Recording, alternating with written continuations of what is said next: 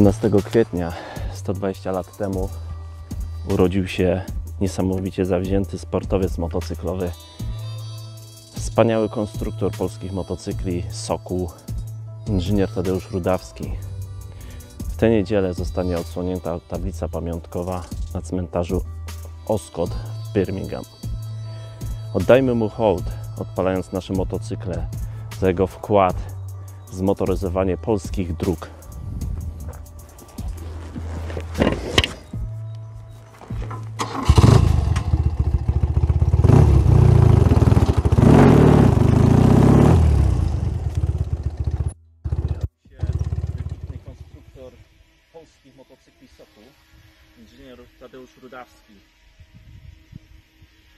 Zaprosiłem jego wnuczki, aby odsłonić tablicę pamiątkową.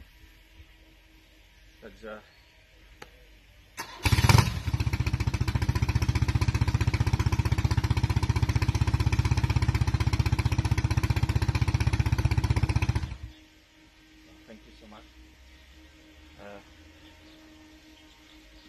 Thank you.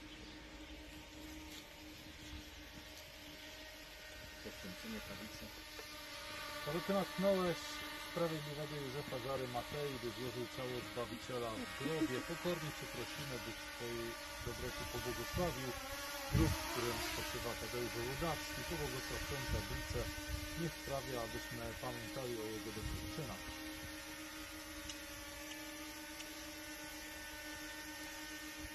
Ojcze nasz, któryś jest w niebie, święć się imię Twoje, przyjdź królestwo Twoje, bądź wola Twoja, jako w niebie, tak i na ziemi. Chleba naszego powszedniego daj nam dzisiaj i odpuść nam nasze winy, jako i my odpuszczamy naszym winowajcom. I nie wódź nas na pokuszenie, ale nas zbaw od złego. Wieczny odpoczynek racz dać Panie, a światło z wiekuista niechaj świeci, niech odpoczywa w pokoju wiecznym. Chciałbym bardzo podziękować wszystkim za przybycie. E, Dziś mija, jak wspomniałem, 120 lat wybitnego konstruktora polskich motocykli Soku, niesamowitego sportowca motocyklowego. Chciałbym też po, podziękować kilku osobom, które już wcześniej zaczęły opisywać jego życiorys. Między innymi świętej pamięci Witold Richter. W latach 90. zajął się nim dyrektor dr Jan Tarczyński czy świetny pisarz Tomasz Czerwicki. Należą się też wielkie brawa dla założyciela y, Stowarzyszenia Polskie Miejsca Pamięci. Bez tego stowarzyszenia dzisiaj byśmy tutaj nie stali. Bardzo dziękuję.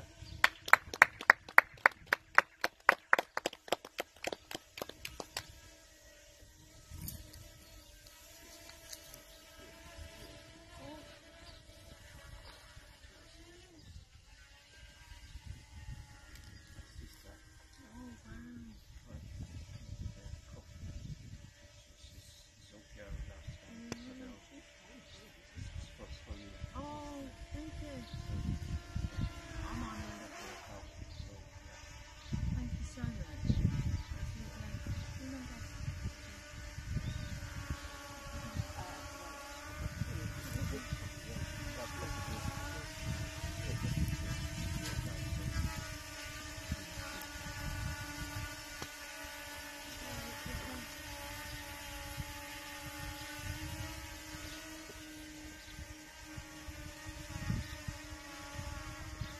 Thank you so much. Thank